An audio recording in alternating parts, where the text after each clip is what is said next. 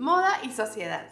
Hoy día analizaremos cómo lo que nos toca vivir como sociedad afecta el cómo vestimos.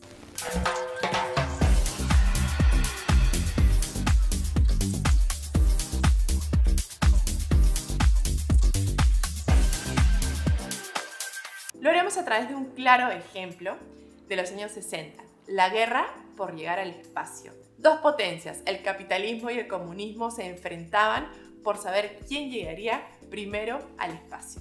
Un hecho tan fuerte en nuestra sociedad definitivamente impactó en todos nuestros ámbitos, desde la arquitectura, con muebles más redondeados, pensando en el espacio, en la vida en un futuro, incluso las publicidades tan comunes como una bebida o una soda o electrodomésticos eran presentados al público a través de esta eh, proyección de la vida en el espacio. Dibujos animados como los Jetsons o películas como Odisea en el espacio o Barbadella fueron un claro ejemplo de los cuestionamientos de nuestra sociedad. Meet the most beautiful creature of the future. Her name is Barbarella, and she makes science fiction something else. Jane Fonda is Barbarella. Barbarella is a five-star, double-rated astronavigatrix Earth girl whose specialty is love. Es recién a mediados de los años 60 cuando impacta en la moda. Uno de los primeros en jugar con esta temática fue Pierre Cardin.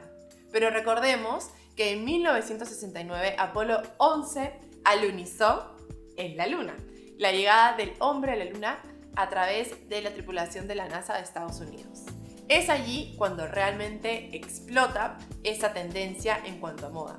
No solamente fue Pierre Cardin, fue Paco Rabanne, fue Marie Quant, fue André Courage y muchos otros y aquí veremos cómo es que se refleja en la moda.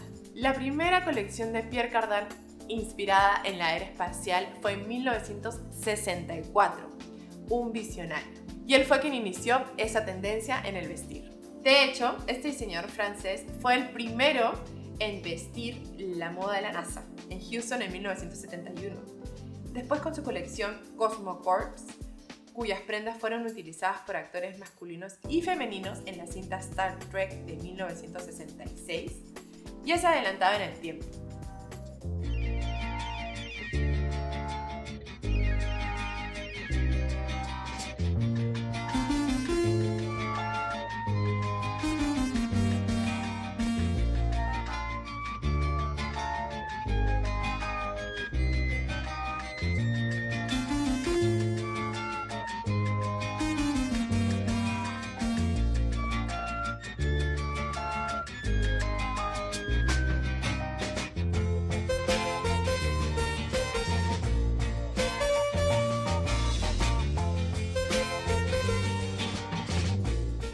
Los looks incluían texturas metálicas o brillosas, combinadas con fibras sintéticas como el plástico limpio y de colores, PVC, vinil, acrílico.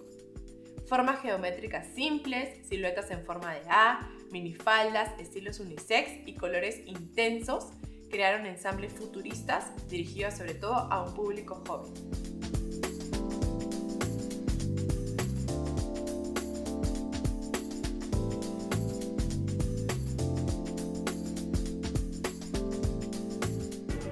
Grandes inspiradores franceses de la moda acaba de presentar esta colección de trajes para la era del espacio. Cuanto rodea a las modelos y sus vestidos, se halla tono con el supuesto marco del futuro, donde todo hace juego, desde los espejos reflectores al maquillaje y a las actitudes de cada presentadora.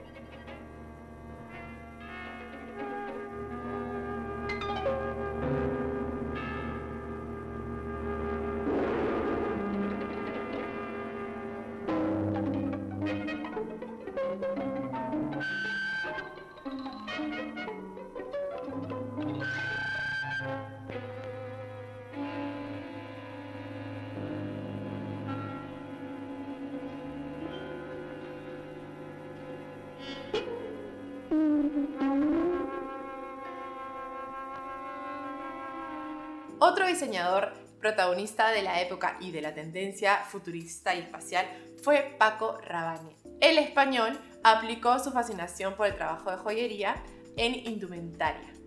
Fue uno de los primeros que creó un vestido sin hilo y sin aguja, como a través de experimentación con nuevas texturas y nuevos materiales.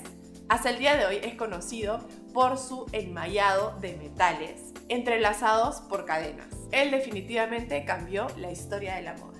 Paco Rabanne introdujo un nuevo material, el rodí, no solamente para aretes, sombreros y joyería, sino también para vestidos.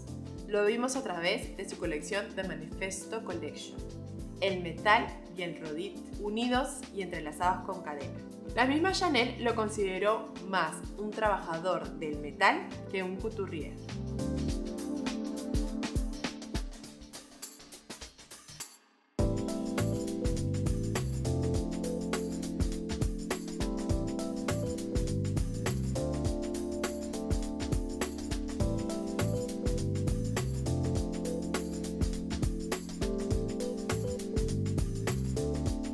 Recordemos que la moda de los años 60 siempre fue juguetona y divertida. Mientras más joven lucieras, pues mejor. Y fue así también como Mary Quant diseñó abrigos de PVC, anti-agua y con el efecto mojado. De forma simples encaja con la nueva sociedad consumista, ya que el PVC no está pensado en durar para siempre. El raincoat era corto para hacer juego con el mini vestido tan afamado en los años 60. Era combinado con botines a juego de PVC.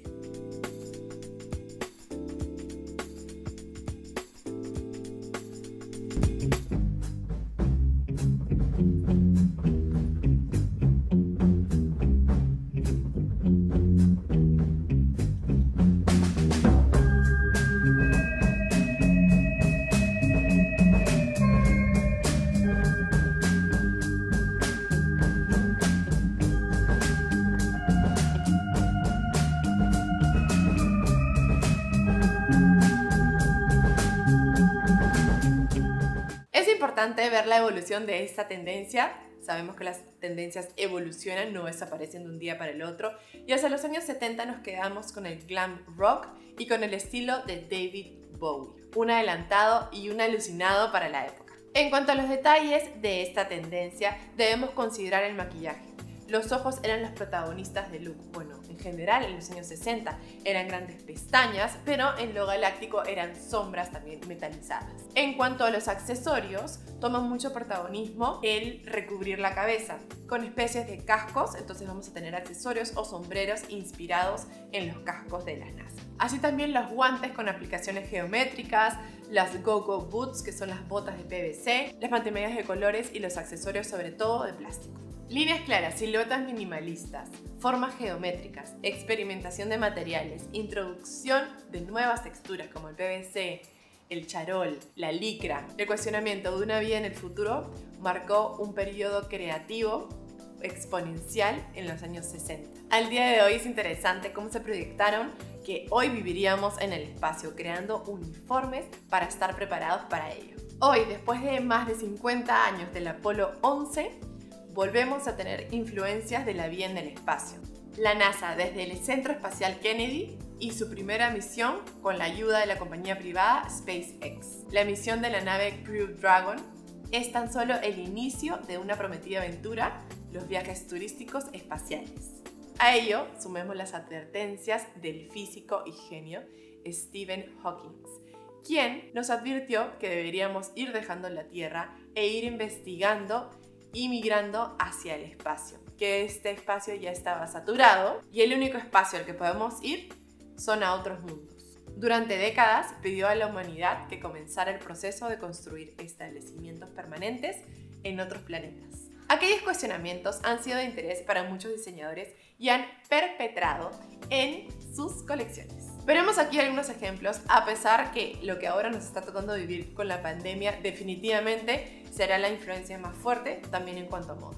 La innovación de textiles y materiales de parte de María Gracia Curie para Dior Invierno 2018. Mostraron una colección con una pronunciada utilización de un textil similar al latón en abrigos, bolsos y bordados. Valentino para Primavera-Verano 2018 se inspiró en el alunizaje de los Apolos, chaquetas de estructura robusta, translúcidas y metálicas. Oliver Rusting para Primavera-Verano 2020 de Balmain mostró una combinación entre un motorbike style y chamarras metálicas de inspiración espacial. En cuanto a formas geométricas, Maison Margiela, en otoño de alta costura 2018, hizo un rasguño a la alta tecnología a través de tiras reflectantes de velcro, translúcidas y cortes estructurados. También lo hizo Louis Vuitton, apropiándose de formas estructuradas y geométricas para verano 2018. Así también colecciones como Moncler, Richard Quinn, Dolce Gabbana, Gucci y Karl Lagerfeld para Chanel.